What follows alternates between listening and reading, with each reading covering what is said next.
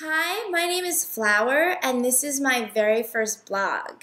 It wasn't really my idea to be here today, the universe brought me.